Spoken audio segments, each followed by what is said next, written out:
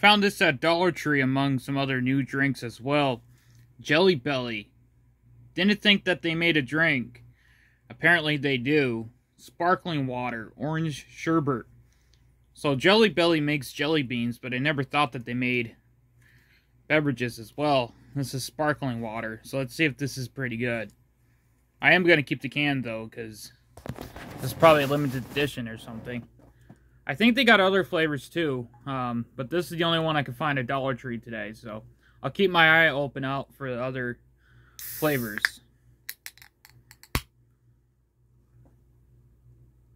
Smells like orange sherbet.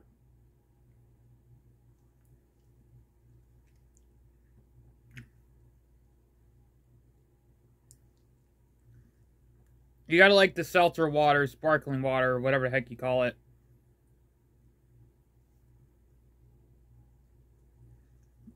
Smells better than it tastes, to be honest.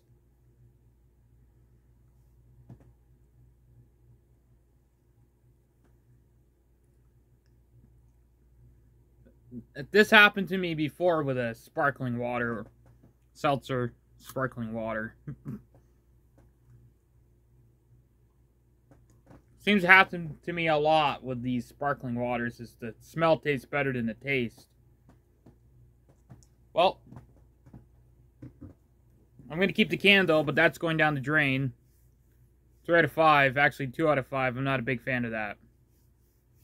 Ugh.